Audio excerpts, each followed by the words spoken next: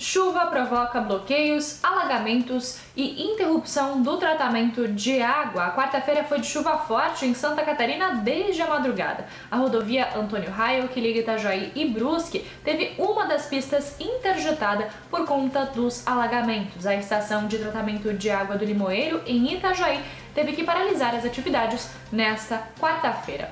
Ruas da zona rural de Itajaí também tiveram pontos de alagamentos e a balsa que faz a travessia entre Itajaí e Navegantes chegou a ser paralisada no terminal do bairro São João. Segundo a previsão do Laboratório de Climatologia da Univale, o tempo deve melhorar a partir desta quinta-feira.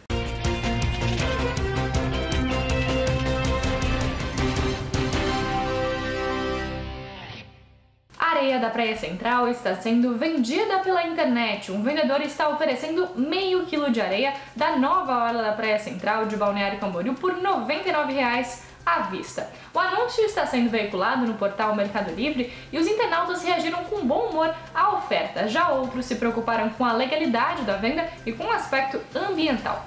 No anúncio, o vendedor descreve que o produto é destinado a quem tem saudade da orla central. Itajaí ganha linha de montagem de peças de carros Honda. Itajaí ganhou uma nova unidade de montagem de conjunto de transmissão dos automóveis da marca Honda.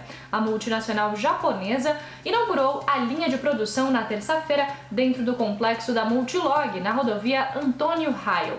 A unidade vai produzir cerca de 300 conjuntos de transmissão powertrain por dia.